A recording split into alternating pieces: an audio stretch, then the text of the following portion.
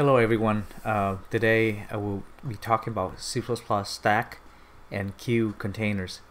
Stack by definition is container adapter that gives the functionality of a stack, specifically a FILO first in last out data structure. A queue is a container adapter designed to operate in a FIFO context first in first out where elements are inserted into one end of the container and extracted from the other. So today I will show you how to use the stack and queue containers.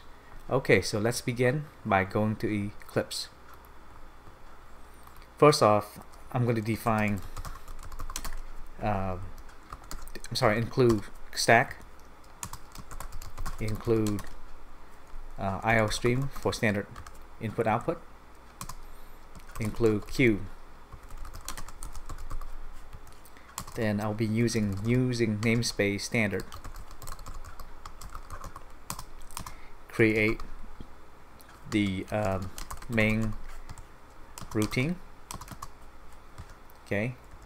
So this is um, LIFO or FILO. Last in uh, first out.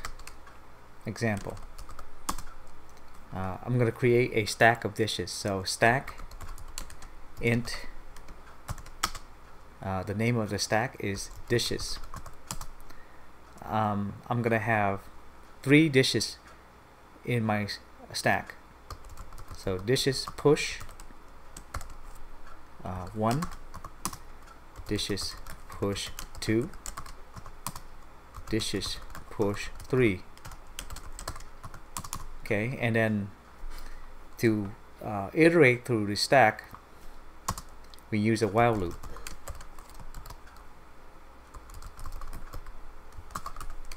We check to see if the stack is empty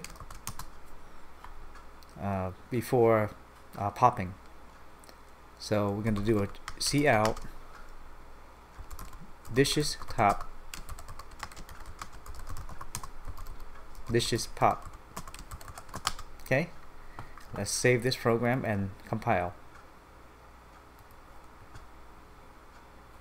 Okay.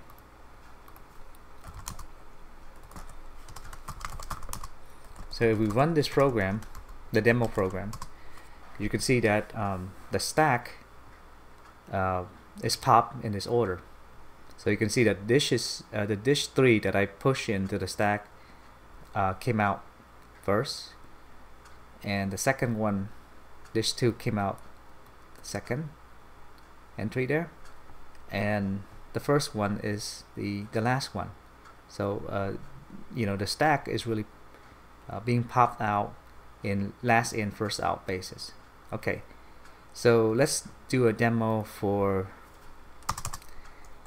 the uh, FIFO which is a queue first in first out basis. So to create a queue, we do queue int. Uh, for example, ticket counter. Okay, so I'm gonna add um, let's say uh, customer number one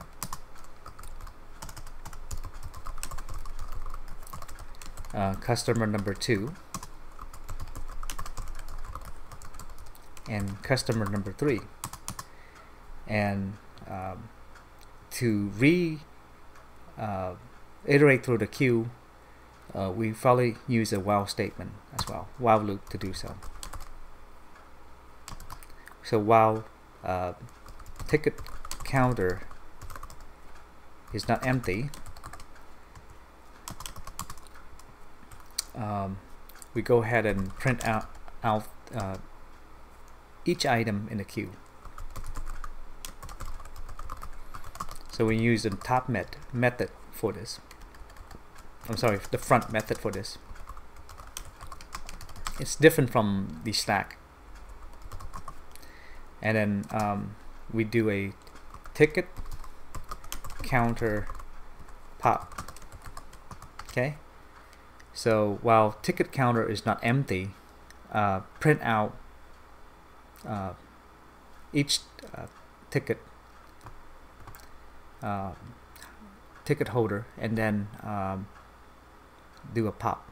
So let's uh, compile the program save and then compile. And so as you can see um, that whoever came in first gets the ticket first basically. Okay so um, this ends the tutorial for um, stacks and queue um, I hope you enjoyed this video and if you like please subscribe to my channel. Uh, thank you for watching